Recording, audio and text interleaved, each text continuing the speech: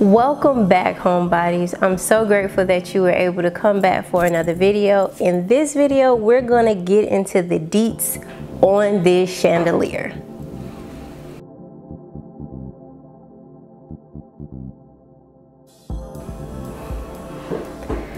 All right, homebodies. Everybody's home, everybody's got a house full. So if you hear my background, background noise, just understand we are all in this together, okay? So I hope that you guys have had an amazing weekend and that you have finally emotionally decompressed because it's been a hectic week, okay, to say the least.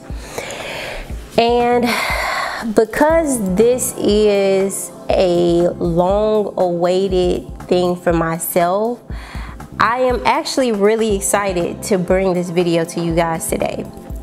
So I found this particular chandelier.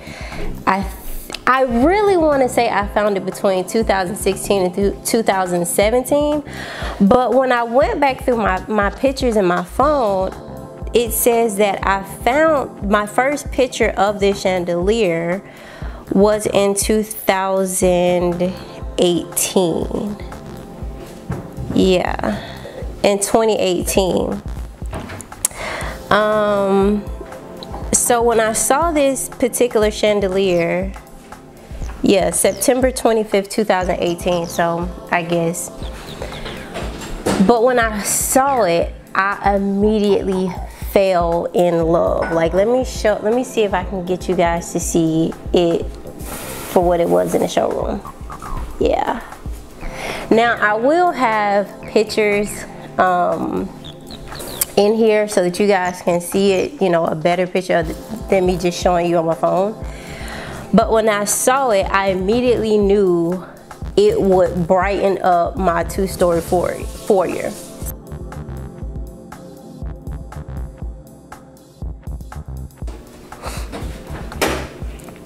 So I'll, I'll go ahead and insert some pictures so that you guys can see it the way that I saw it. But when I, when I found this chandelier in the showroom, I immediately knew that it will brighten up my two-story foyer. So the foyer the house is pretty new it's relatively new we're the first owners um, we found well the builder had already built our floor plan when we found the house um, so I knew that I would like coming into the house because I didn't pick any of the finishes that nothing was staying the way, excuse me, the way that I found it. And one of the things that really, I really needed to tie in the upstairs and the downstairs was the chandelier. Now, when you first enter into the house, the house, as you can see, um, it's it's a straight shot, literally all the way to the family, where the family room and the kitchen open up.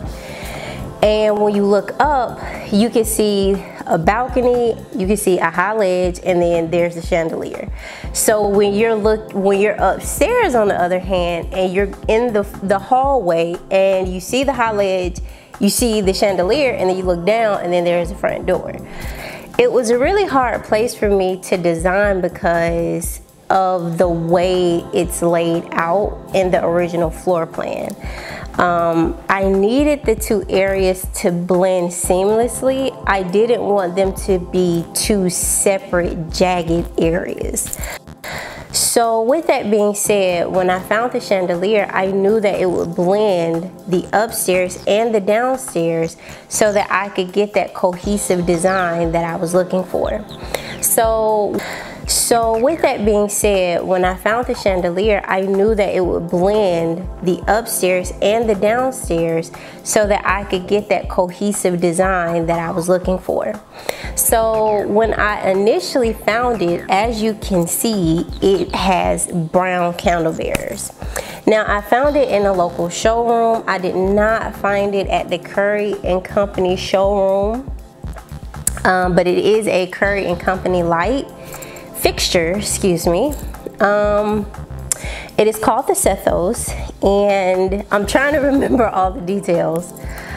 Um, it's the large one. They have a large and they have a small. And this particular line has about, I want to say, one, it has wall sconces, foyer chandeliers, dining chandeliers, if I'm not mistaken. So I want to say there are about four to six different lights in this particular um, this particular lunch but I just knew that, that the large Sethos was exactly what I needed to tie in that two-story foyer. Now here are some of the pitfalls of this chandelier that I did not take into account when I saw it, found it, bought it, and had it adjusted. Number one was I had no idea that my grandiose idea was grand, but all a smidget too grand, okay? Just like a smidget. Now I knew that whatever chandelier I put in that space needed to be huge. It had to fill up the space visually. It had to be minimal and it needed to have a masculine feel to it because I didn't want to pink out the whole house and make my husband feel like he didn't have, you know, a presence in the house, which I think to a certain extent he still doesn't feel. But um, I knew that with whatever I chose to put in this space needed to fill up the space appropriately. And I did not feel like the smaller Sethos would have done that. Now, here's the pitfall of going larger instead of smaller. They're more freaking lights. So literally, when I turn on the chandelier, it blinds the crap out of everybody, okay? It's bright as heck. And just to give you a consensus of how bright this freaking chandelier is, at night when we turn it on, it's so, the light is so clear and so potent to be quite transparent. It's, it, everybody gotta take their glasses off, okay? So clearly didn't think the original light there only had three bulbs. So I think we went from three bulbs to 13 in one swap. And then number two was I was thinking that because we have a high ledge right there and the banister, some way, somehow my husband could, you know, fix it to where he could have just installed the chandelier from the high ledge and the banister. Well, that did not happen. It did not materialize in no way, shape, or form. In actuality, he had to go and rent a freaking um, scaffolding ladder to get from the second story to the third story because we are on a basement lot. Um, he did have to do some real construction stuff that I never took into account. So if you caught my video before this one, you see the struggle of the scaffolding ladder. And thank God we planned on redoing the walls anyway because clearly they got dented and scratched up during this installation. So with all of that being done, with everything being accounted for, finally, because here's the thing, and me and my husband both had to sit down and talk about it and realize like this is just something that we both need to work on. My husband is my foreman. He is the construction geek. He's the one that puts together most of what I visualize in my head or he tells me what needs to be done in order to get it done. Whereas with me, I visualize it, I see it, I want it, and I'm unwilling and relentless about getting that done.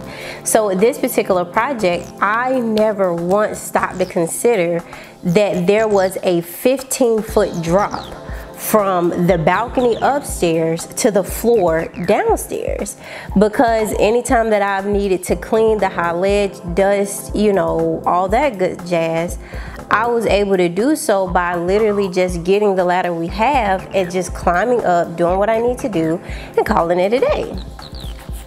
So when I told my husband, like, okay, today's the day we're gonna install this chandelier, his thing was, okay, but did you think about it? And I'm like, yeah, get a ladder, do it.